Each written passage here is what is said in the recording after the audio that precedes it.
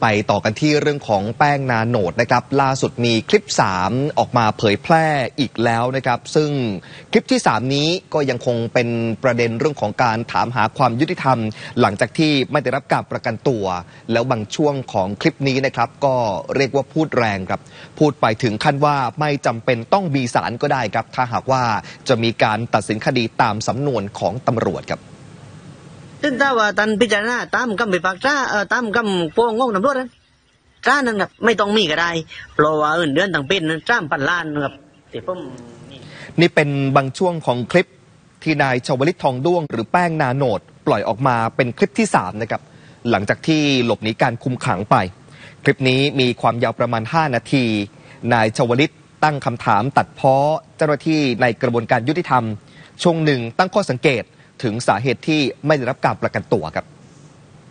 กันกันเกรงใช่ไหมครับมีปัญหากับเจ้าหน้าที่รัฐเสียการมันลดในการตีละมาแต่ละครั้งญาติพี่น้องก็ มาถึงอ่าพิจารณาตามคำตำตำรวจ เชื่อตำรวจ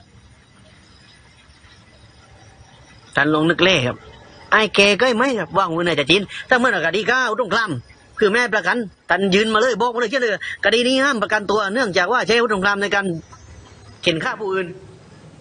ซึ่งในคลิปนะครับนายชวริตยังตัดเพ้อต่อศาลด้วยนะครับ ที่ตัวเองไม่ได้ประกันตัวนะครับ ไม่ให้ผู้ต้องหาประกันตัว โดยมองว่าสิ่งที่เกิดขึ้นนั้น ส่งผลทำให้เขาเนี่ยได้รับผลกระทบไม่ว่าจะเรื่องงาน เรื่องเงินและครอบครัวครับ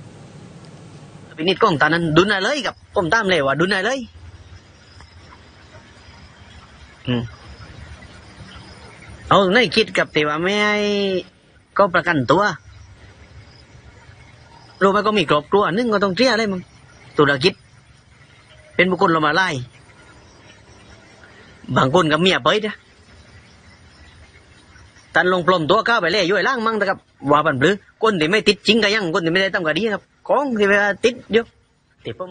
นี่ซึ่งในช่วงท้ายเนี่ยนะครับนายชวลิตยังได้ขอโทษต่อหน่วยงานที่เขาได้กล่าวพาดพิงถึง โดยบอกว่าที่เขาต้องทำแบบนี้ เพราะว่าความอึดอัดใจ และเขาเชื่อว่าประชาชนจะรับรู้ได้ถึงความอึดอัดใจที่เขามีครับ